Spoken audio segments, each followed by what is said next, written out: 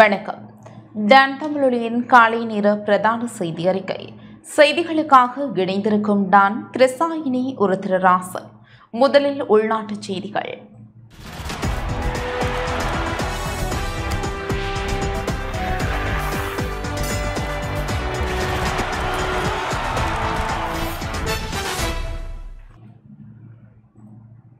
கொழும்பு நுகர்வோர் விலைச்சுட்டனின்படி ஏப்ரல் மாதத்தில் பணவீக்கம் வீழ்ச்சியடைந்துள்ளது. கொழும்பு நுகர்வோர் விலைச்சுட்டனின்படி ஏப்ரல் மாதத்தில் பணவீக்கம் முப்பத்து ஐந்து தசம் மூன்று சதவீதமாக குறைந்துள்ளதாக மக்கள் தொகை கணக்கெடுப்பு மற்றும் புள்ளி விவர திணைக்களம் தெரிவித்துள்ளது. கடந்த மார்ச் மாதத்தில் பணவீக்கம் ஐம்பது தசம் மூன்று சதவீதமாக பதிவாகியிருந்தது. மார்ச் மாதத்தில் ஐம்பது தசம் மூன்று சதவீதமாக இருந்த உணவு வகை பணவீக்கம் ஏப்ரலில் முப்பது தசம் ஆறு சதவீதமாக குறைந்துள்ளது. மார்ச் மாதத்தில் ஐம்பத்தி ஒன்று தசம் ஏழு சதவீதமாக இருந்த உணவுகல்லாத பணவீக்கம் ஏப்ரல் மாதத்தில் முப்பத்தி ஏழு தசம் ஆறு சதவீதமாக குறைந்துள்ளதாக தெரிவிக்கப்பட்டுள்ளது. சமத்தி உதவிகளை பெறும் குடும்பங்களில் முப்பத்தி மூன்று வீதமான குடும்பங்கள் அந்த உதவிகளை பெறுவதற்கு தகுதியற்றவை என தெரிவிக்கப்பட்டுள்ளது. சமுர்த்தி உதவிகளை பெறும் குடும்பங்களில் ஏறத்தாழ முப்பத்து மூன்று வீதமான குடும்பங்கள் அந்த உதவிகளை பெறுவதற்கு தகுதியற்றவை. எனினும் இதே அளவு குடும்பங்கள் உதவிகளை பெற தகுதி இருந்தும் அவற்றிற்கு அந்த உதவிகளை கிட்டவில்லை என அரசாங்க கணக்குகள் பற்றிய குழு தெரிவித்துள்ளது. இரண்டாயிரத்து பதினைந்தாம் ஆண்டு முதல் இரண்டாயிரத்து பதினேழாம் ஆண்டு வரையான காலப்பகுதியில் நாடு முழுவதையும் உள்ளடக்கும் விதத்தில் நடாத்தப்பட்ட வாக்கெடுப்பினூடாக இந்த விடயம் தெரிய வந்திருப்பதாகவும் நான்கு லட்சத்து நாற்பத்தி ஒன்பதாயிரத்து தொள்ளாயிரத்து எழுபத்தி ஒன்பது குடும்பங்கள் சமுத்திர பயனாளிகளிடமிருந்து நீக்கப்பட வேண்டும் எனவும் சுட்டிக்காட்டப்பட்டுள்ளது. அடுத்த இரண்டு வாரங்களில் கோழி இறைச்சி மற்றும் முட்டைகளின் விலை குறைவினால் நுகர்வோர் பயனடைவரிடம் அகில இலங்கை கோழி பணியாளர்கள் சங்கம் தெரிவித்துள்ளது. அடுத்த இரண்டு வாரங்களில் கோழி இறைச்சி மற்றும் முட்டையின் விலை குறைவினால் நுகர்வோர் பயனடைவார்கள் என அகில இலங்கை கோழி பணியாளர்கள் சங்க தலைவர் அஜித் குணசேகர தெரிவித்துள்ளார். அரசாங்கத்தின் சம்பந்தப்பட்ட அதிகாரிகளுடன் அகில இலங்கை கோழி பணியாளர்கள் சங்கம் கலந்துரையாடியுள்ளது. இதற்கமைய கால்நடை உணவுப் பொருட்களின் விலைகளை குறிப்பதற்கு அரசாங்கம் எடுத்துள்ள நடவடிக்கைகளின் காரணமாக இந்த சலுகை வழங்கப்பட உள்ளதாக அவர் தெரிவித்தார். கால்நடை உணவு உற்பத்திக்கான மூலப்பொருட்கள் குறைந்த விலையில் கிடைத்தால் அது ஒரு கிலோ கோழி இறைச்சி மற்றும் முட்டையின் விற்பனை விலையை குறைக்க உதவும். இந்த நிலையில் தேவையான சோள கையிருப்புகளை இறக்குமதி செய்வது மற்றும் கால்நடைகளுக்கு வருடாந்த நெல் அறுவடையில் அதிகப்படியான நிலை வழங்குவது குறித்து உடனடியாக முடிவெடுக்க அரசாங்கம் ஒப்புக்கொண்டது. இந்த முடிவு உற்பத்தி செலவை குறைக்க உதவும். தேவையான கால்நடை உணவுகள் குறைந்த விலையில் கிடைத்தால் அந்த நன்மையும் மக்களுக்கு கிடைக்கும் என அஜித் குணசேகர தெரிவித்துள்ளார்.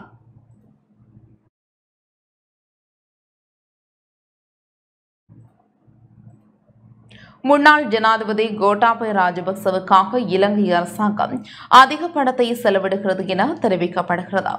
முன்னாள் ஜனாதிபதி கோட்டாபய ராஜபக்சவுக்காக இலங்கை அரசாங்கம் மாதாந்தம் பதிமூன்று லட்சத்து இருபத்தி ஒன்பதாயிரத்து முன்னூற்று எண்பத்தி ஏழு ரூபாயை செலவிடுகிறது என ஜனாதிபதி செயலகத்தை மேற்கோள் காட்டி தகவல் வெளியாகியுள்ளது.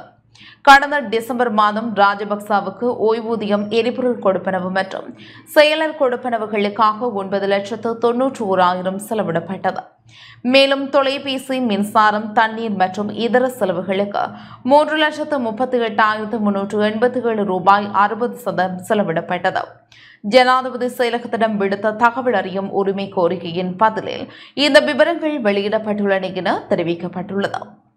ஜனாதிபதி ரணில் விக்ரமசிங்கவின் வீட்டிற்கு தீ வைக்கப்பட்ட சம்பவத்துடன் தொடர்புடைய சந்தேக நபர்களில் முன்னாள் நாடாளுமன்ற உறுப்பினர் ஜெயனா ஸ்ரீரங்காவும் ஒருவர் என தெரிவிக்கப்பட்டுள்ளது.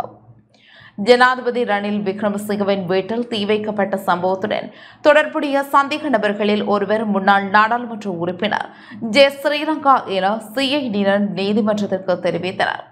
இதன் அடிப்படையில் ஸ்ரீலங்காவை மே மூன்றாம் தேதி நீதிமன்றத்தின் முன்னிலையில் ஆயர்படுத்த வேண்டும் என கொழும்பு கோட்டை நீதவான் திருநிகமுகவை உத்தரவிட்டுள்ளார்.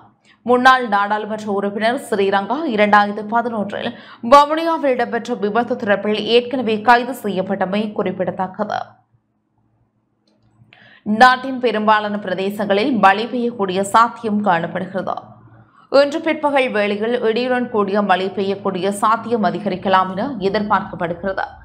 நாட்டின் பெரும்பாலான பிரதேசங்களில் பல இடங்களில் பிற்பகல் இரண்டு மணிக்கு பின்னர் மழையோ அல்லது இடியுடன் கூடிய மழையோ பெய்யக்கூடிய சாத்தியம் காணப்படுகிறது. மேலும் சப்ரகம்புவா மத்திய வடமேல் மற்றும் தென் மாகாணங்களில் சில இடங்களில் நூறு மில்லிமீட்டருக்கும் அதிகமான பலத்த மழை வீழ்ச்சி எதிர்பார்க்கப்படுகிறது. கிழக்கு மாகாணத்தில் காலை வேளையிலும் மழை பெய்யும் என எதிர்பார்க்கப்படுகின்றது. இடியுடன் கூடிய மழை பெய்யும் வேளைகளில் அப்பிரதேசங்களில் தற்காலிகமாக பலத்த காற்று வீசக்கூடும். மின்னல் தாக்கங்களினால் ஏற்படக்கூடிய பாதிப்புகளை குறைத்துக் கொள்ள தேவையான முன்னெச்சரிக்கை நடவடிக்கைகளை எடுத்துக் கொள்ளுமாறு பொதுமக்கள் அறிவுறுத்தப்படுகின்றார்கள்.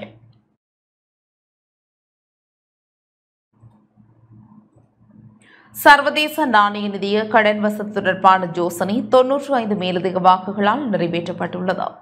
சர்வதேச நாணய நிதிய கடன் வசதி தொடர்பான யோசனை நாடாளுமன்றத்தில் தொன்னூற்று ஐந்து மேலதிக வாக்குகளால் நிறைவேற்றப்பட்டுள்ளது.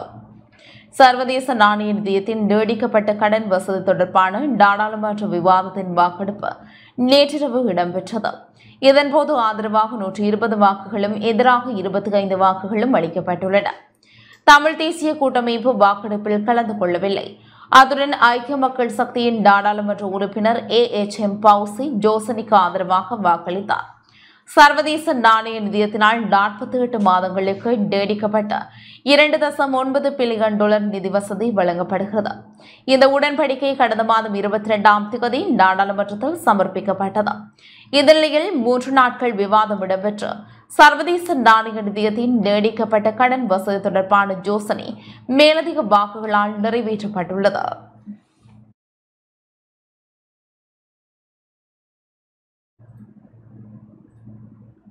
தொழிலதிபர் திலித் ஜேவிரவின் பொருளாதார அபிவிருத்தி கருத்தரங்கு யாழ்ப்பாணத்தில் நேற்று நடைபெற்றது. தொழிலதிபர் திலித் ஜெயவீரவின் பொருளாதார அபிவிருத்தி கருத்தரங்கு இனியொரு விதி செய்வோம் எனும் துணை பொருளில் யாழ்ப்பாணத்தில் நேற்று நடைபெற்றது. அதிகரித்து வரும் பொருளாதார சிக்கல்களுக்கு மத்தியில் வணிகங்களை முன்னெடுத்து செல்லும் பாரிய சவாலை எவ்வாறு வெற்றி கொள்வது என்பது தொடர்பில் நாடளாவிய ரீதியில் இடம்பெற்று வரும். சேலமர்வில் ஓர் அங்கமாக நேற்று தனியார் விடுதியில் கருத்தரங்கு இடம்பெற்றது.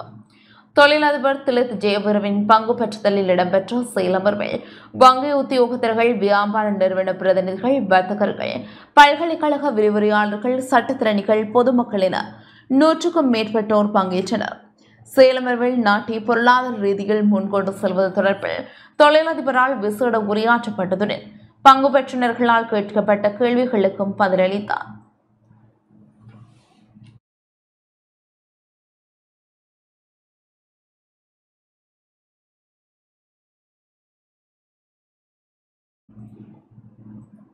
மாமனிதர் தாரகி சிவராமின் பதினெட்டாம் ஆண்டு நினைவு தினம் முல்லைத்தீவு ஊடகாமயத்தில் அனுஷ்டிக்கப்பட்டது. மறைந்த ஊடகவியலாளர் மாமனிதர் தாரகி சிவராமின் பதினெட்டாம் ஆண்டு நினைவேந்தல் நிகழ்வு முல்லைத்தீவு ஊடக அமையத்தின் ஏற்பாட்டில் நேற்று மாலை அனுஷ்டிக்கப்பட்டது.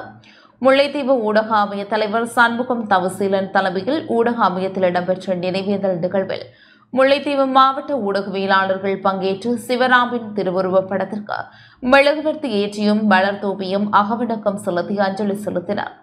ஊடகவியலாளர் மாமனிதர் தாரகி சிவராம் கடந்த இரண்டாயிரத்து ஐந்தாம் ஆண்டு ஏப்ரல் மாதம் இருபத்தி எட்டாம் தேதி கொழும்பு பம்பலப்பட்டி போலீஸ் நிலையத்திற்கு அருகில் வைத்து இனந்தெரியாத நபர்களால் வெள்ளை வேனில் கடத்தப்பட்ட சுற்றுப்படுகொலை செய்யப்பட்ட நிலையில் நாடாளுமன்றத்திற்கு அருகில் சடலமாக மீட்கப்பட்டமை நினைவூட்டத்தக்கது.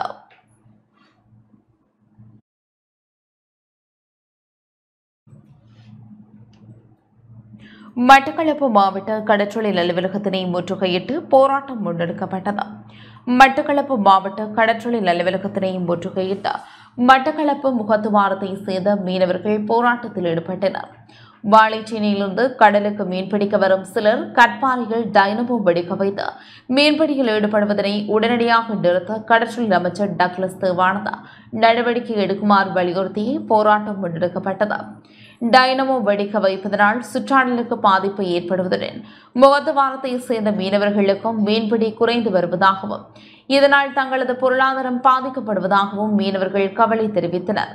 குறித்த விடயம் சம்பந்தமாக மீன்பிடி திணைக்கள அதிகாரி அமிர்தலிங்கத்திடம் போராட்டக்காரர்களால் மகஜரொன்றும் கையளிக்கப்பட்டமை குறிப்பிடத்தக்கது. தான் முதலாவது தொழில் புள்ளியலுக்காக தான் நாங்கள் இங்கே உழைக்க போகிறேன் ஒரு நாளைய செலவு எங்களுக்கு இங்கேருந்து நாங்கள் போகிறதுக்கு குறைஞ்சது இருபதனாயிரம் ரூபா வேணும். அந்த இருபதனாயிரம் ரூபாய் செலவழிச்சு இந்த இங்கேருந்து நாங்கள் அந்த கல்லுக்கு போகிறோம் அந்த இருபதனாயிரம் செலவழிச்சிட்டு போய் அந்த கல்லில் மீன் இல்லை இவங்க வெடியடிச்சாங்களா வெடியடிக்கலையான்னு எங்களுக்கு தெரியாது. ஆனால் வெடியடிச்சிட்டாங்க மீன் இல்லாமல் வீட்டை வாரோம். அப்போ வீட்டில் இருக்கிற பிள்ளைகள் இது என்னத்தை சாப்பிட்ற? நாங்கள் என்னத்தை கொடுக்குறது எங்களுக்கு? எதுவும் கொடுக்கல அது. ஏன்? நாங்கள் நிராயுதமானி எங்கிட்ட ஒன்றும் இல்லை. அதே நேரத்தில் இந்த மீனை எடுக்கிற துணை போகிற வியாபாரி மறண்டிக்காங்க எங்கட ஊருக்குள்ளே. அவங்களையும் முதலாவது கண் அவங்கள கண்டுபிடிச்சா இந்த மீன் யார் மூலமாக வருது எங்கே மூலமாக வருதுன்னு நம்ம எடுக்கலாம். இது இவங்க இல்லீகலாக நிறைய பிரச்சனை இருக்குது அதுக்குள்ளே. அது எங்களால் செய்ய இயலாது. ஏன்னா நாங்கள் ஒரு சமூகத்தில் வாழ்னா குறைஞ்ச சமூகத்தில் வாழ்ந்தாங்க எப்படியோ எங்களை மீன் பிடிக்கத்தான் பண்ணும் ஆனால் நாங்கள் இந்த நாளில் ஒரு ரெண்டு கிழமை தொடர்ந்து ஒவ்வொரு நாளும் ஐநூறும் ஆயிரம் வீட்டை கொண்டு வரும். ஐநூறுரூவா காணும் ஒரு வீட்டில்? இது யாரால் வருது? சட்டபூர்வமான தொழிலாலாம் வருது. இதை கண்டுபிடிக்கணும். எல்லாரும் கண்டுபிடிக்கணும். இது வந்து எங்களுடைய மூத்துவார கடல் அது மட்டக்களப்பு மூத்துவார கடலில் தான் இது நட டைனமேட் வெடி அடித்து இவங்க கல்லுகளில் டைனமேட் அடித்து இவங்க மீனை பிடிக்காங்க. அடிக்கிறாக்கள் வந்து வாழைச்சனியாக்கள் கடத்துறை அமைச்சர் டக்ளஸ் தேவானந்தா அவர்களுக்கு ஒரு வேண்டுகோள் கொடுக்குறேன். இந்த சட்டவிரோதமான டைனமேட் மீன் பிடியை ஃபுல்லாக நிறுத்தி தருமாறு தயவாக கேட்டுக்கொள்கிறேன். இந்த ஒட்டுமொத்த மீனவர்களோட வாழ்வாதாரத்தையும் கெடுத்து கொண்டிருக்கும் ஒரு சில மாபியாக்களால் இந்த நடவடிக்கை நடந்து கொண்டிருக்கு. அதை கண்டிப்பாக நிறுத்தி தருவீங்க என்ற ஒரு நம்பிக்கையிலையும் நிறுத்துவீங்க என்ற ஒரு முடிவிலையும் வேண்டுகோள் விடுக்கிறேன் வெடி அடிக்காங்க நைட்டில் சுருக்குறாங்க. அப்போ நாங்கள் இப்படி ஒரு நாளைக்கு இருபதாயிரம் ரூபா செலவழிச்சிட்டு போய் எங்கள் பிள்ளைகளுக்கு சோறு கொடுக்குறோம் நாங்கள் ஒன்றுமில்லாத வந்தால் எங்களுக்கு எரிய என்ன? டைனமைட் அடிக்கிறது வந்து முதல் நான் நினைக்கிறேன் கிட்டத்தட்ட ஒரு ஐந்து அல்லது பத்து வருடங்களுக்கு முதல் வாழைச்சீனை போய் நிறைய பேர் அடித்து உடனடியாக அவர்களை நாங்கள் கைப்பற்றி சட்ட நடவடிக்கை எடுத்தனாங்க. இப்போ அண்மை காலமாக இப்போ இன்றைக்கு தான் இந்த எங்களுக்கு இந்த செய்தி கிடைக்கப்பட்டு இருக்கு நாங்கள் உடனே நடவடிக்கை எடுப்போம். அம்பாறை திருக்கோவிலில் மணிக்கூட்டு கோபுரம் புனர் நிர்மாணம் செய்யப்பட்டு திறந்து வைக்கப்பட்டது.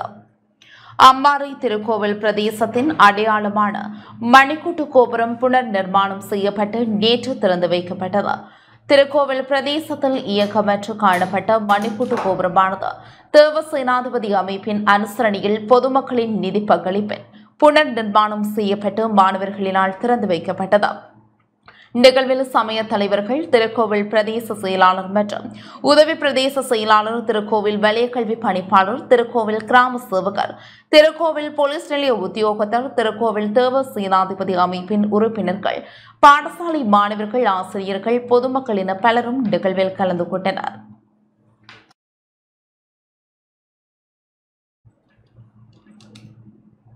மட்டக்களப்பு மாவட்டத்தில் கனிம மகிழ்வு அனுமதி பத்திர உரிமையாளர்கள் சங்கத்தினர் கண்டன ஆர்ப்பாட்டத்தில் ஈடுபட்டனர். மட்டக்களப்பு மாவட்டத்தில் நிறுத்தப்பட்டுள்ள கனிம மகிழ்வு அனுமதி பத்திரங்களை வழங்க கோரி மாபெரும் கண்டன ஆர்ப்பாட்டம் நேற்று மட்டக்களப்பில் முன்னெடுக்கப்பட்டது. மட்டக்களப்பு மாவட்ட கனிம மகிழ்வு அனுமதி பத்திர உரிமையாளர்கள் சங்கத்தின் ஏற்பாட்டில் புவிசரிதவியல் அளவை மற்றும் சுரங்கங்கள் பணியக மாவட்ட பிராந்திய அலுவலகத்திற்கு முன்னால் ஆர்ப்பாட்டம் முன்னெடுக்கப்பட்டது. எங்களையும் வாழவிடுங்கள் எனும் துணைப்பொருளில் ஆர்ப்பாட்டம் இடம்பெற்றது. சுற்றாடத்துறை அமைச்சரான காபஸ் நசீர் அகமட் உருவப்பொம்மையும் ஆர்ப்பாட்டக்காரர்களால் தீயிட்டு எரிக்கப்பட்டது. ஆர்ப்பாட்டக்காரர்கள் தமது கோரிக்கைகள் அடங்கிய மகஜரை கையளிப்பதற்காக மாவட்ட அரசாங்க அதிபர் புவிச்சரிதவியல் அளவை மற்றும் சுரங்கங்கள் பணியகத்தின் மட்டக்களப்பு பிராந்திய அலுவலக பொறியியலாளர் மாவட்ட அபிவிருத்தி ஒருங்கிணைப்பு குழு தலைவர் அழைப்பு விடுத்திருந்தனர்.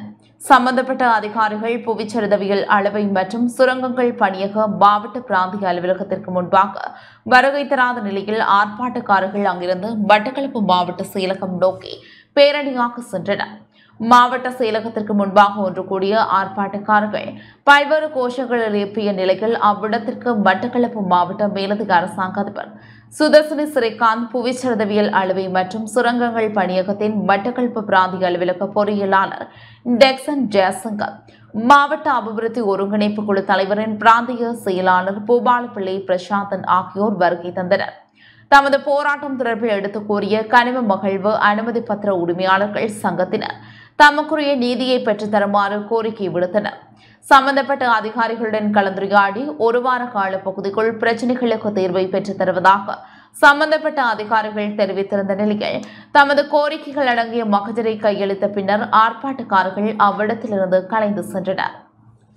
எங்களுடைய கோரிக்கைகளை எங்களுடைய கௌரவ மதிப்புக்குரிய டிஜி எங்கள் பணிப்பாளர் நாயகம் கடந்த கடந்த மாதம் வந்திருந்தார். எங்களுடைய பூச்சிர திணைக்களத்துக்கு தலைவரும் வந்திருந்தார். தலைவரும் எங்களுடைய மட்டக்களப்பு மாவட்டத்தை புவிச்சேர்தவியல் திணைக்களத்தினுடைய தவிசாளர் சேர்மன் மட்டக்களப்பைச் சேர்ந்தவர் தான். மட்டக்களப்பு மாவட்டத்தைச் சேர்ந்தவர் தான். அவரும் வந்திருந்தார். அவரிடம் எங்களிடம் முறைப்பாடுகளை முறையிட்டிருந்தோம். எங்களுடைய அலுவலகத்திலே முதல் கட்டமாக எங்களுடைய ரிலவெண்ட் அதாவது எங்களுடைய ஒஃபிஷியலாக அவரிடம் நாங்கள் முறைப்பட்டிருந்தோம். எங்களுடைய சங்கம் சார்பாக. அவர் அதற்கு எந்த விதமான பரிந்துரைகளோ முடிவுகளோ பெற்றுத்தரவில்லை. அதன் பிற்பாடு நாங்கள் கௌரவ அமைச்சர் காபி நசீர் அவர்களிடம் சுற்றாடல் அமைச்சர் மதிப்புக்குரிய காபி நசீர் அவர்களிடமும் தொலைபேசி மூலம் அவரை சந்திப்பதற்கு உரையாடுவதற்கு தொலைபேசி மூலம் சந்திப்பதற்கு நாங்கள் தொடர்பை ஏற்படுத்தியிருந்தோம். அவரும் தொடர்பை துண்டித்து விட்டார். கௌரவ அஹ், சிவனேஸ்வதுரை சந்திரகாந்தன் அவர்களிடம் சென்றோம். அவர் உண்மையாகவே சொன்னார் நீங்கள் என்ன பிரச்சனை என்று கேட்டால் நாங்கள் மகஜரை கொண்டு கொடுத்தோம். அவருடனே பார்த்து படிச்சனார் அப்படி செய்யலாது. அனுமதி பத்திரங்கள் நிறுத்தப்பட்டது உண்மையாகவே பிழை. புதுசு கொடுக்காம இருக்கிறது. ஓகே. பழசுகளில் கை வச்சது பிள்ளை உங்களோட லீசிங் பிரச்சனைகள் இருக்குது வேறான பிரச்சனை இருக்குது அதை நான் என்னால் என்ற அரசியல் மட்டத்துக்கு நான் அதை செய்கிறேன் என்று சொன்னார். அதன் பிற்பாடு கௌரவ வியாழேந்திரன் அவர்களையும் தொடர்பு கொண்டு கேட்டோம் கௌரவ அமைச்சர். அவர் அவரும் தொடர்பை ஏற்படுத்தவில்லை. அவருக்கு வாய்ஸ் ரெக்கார்டும் போட்டோம். உங்களை சந்திப்பது கடிதம் தர வேண்டும் என்று அவர் அதுக்கும் ஆன்சர் பண்ணவில்லை. பிறகு பிரதேச ஏறாவூர்பேட்டை பிரதேச செயலகத்துக்கு வந்திருந்தார். அப்பொழுது நாங்கள் எங்களுடைய கடிதத்தை கொடுத்தோம். இதெல்லாம் எங்களுக்கு பிரச்சனை. அது என்று அவரும் எங்களுக்கு அந்த எடுத்தறிந்த மாதிரி கதைத்து விட்டு சென்று விட்டார். அதன் பிற்பாடு எங்களுடைய இன்று பாராளுமன்றத்திலே மிகவும் சிறப்பான முறையிலே உரை நிகழ்த்தி கொண்டிருக்கின்ற மதிப்புக்குரிய ரா சாணக்கியன் அவர்களிடம் அவருடைய அவருடைய உதவியாளரிடம் தொடர்பை ஏற்படுத்தி நாங்கள் அந்த சந்திப்பை ஏற்படுத்தியிருந்தோம். அவர் சொன்னார் மண்ணாக்கள் நீங்கள் சந்திக்க வாரண்டி சொல்லியிருந்தா நான் இந்த ஆஃபீஸுக்கு வந்திருக்காமல் களுவாஞ்சிக்குடிக்கு போயிருப்பேன் என்று எங்களுக்கு வேதனையான விஷயத்தை சொன்னார். ஏன் என்று கேட்டோம் இல்லை இல்லை இல்லை மண்காரர்கள் எல்லாம் எங்கே பார்க்குற எல்லாரும் பிள்ளையா தானே என்று சொன்னார். நாங்கள் இன்னும் அப்படி பார்க்க வேணாம். இவர மகன் ஒரு இன்ஜினியராக இருக்கிறார். அடுத்தவர் சின்ன சின்ன பிள்ளைகள் அடுத்தாக்கள் எல்லாம் படிக்குது. எல்லார எல்லாரும் ஒரு நல்ல ஒரு உயர்ந்திய அந்தஸ்தில் தான் இருக்கிறோம் இந்த மாவட்டத்தில் என்பதை நீங்கள் மறந்துவிடக்கூடாது என்று சொன்னோம். அப்பொழுது நாங்கள் நாங்கள் இந்த அரசியல்வாதிகளிடம் பணிவாக கேட்கின்றோம். எங்களுடைய கோரிக்கைகளை உங்களிடம் இது ஒரு மண் மாஃபியா என்றும் சொன்னார். இந்த அரசியல்வாதிகளிடம் நாங்கள் பகிரங்கமாக கேட்கின்றோம். எதிர்வருகின்ற தேர்தலில் எதிர்வருகின்ற நாடாளுமன்ற தேர்தலோ என்ன தேர்தலாக இருந்தாலும் இந்த மண்காராக்கள்ற போட் மண்காராக்களுடைய வாக்குச்சீட்டை நீங்கள் நிராகரிப்பீர்களா? இது மண்காரனுடைய போட் என்று நிராகரிப்பீர்களா? ஒன்று. அடுத்தது மண்காரண்ட வீடென்று உங்களுடைய வேட்பாளர்களையோ உங்களுடைய ஆதரவாளர்களையோ எங்களுடைய இல்லங்களுக்கு அனுப்பாமல் இருப்பீர்களா? அப்படி அனுப்பாமல் இருந்தால் மிகவும் நன்றாக இருக்கும் என்று இந்த இடத்திலே தயவாக கேட்டு சூடான் நாட்டில் வசிக்கும் அமெரிக்கர்கள் நாற்பத்தி எட்டு மணி நேரத்திற்குள் வெளியேற வேண்டும் என அமெரிக்கா வலியுறுத்தியுள்ளது.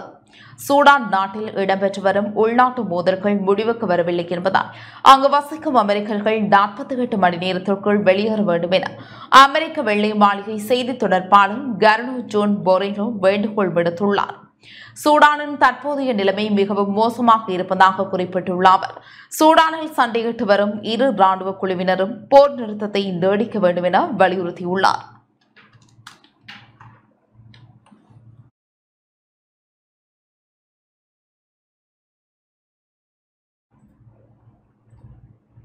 இத்துடன் இந்த செய்தி அறிக்கை நிறைவு பெற்றது. தொடர்ந்தும் எமது நிகழ்ச்சிகளோடு இணைந்திருங்கள். வணக்கம்.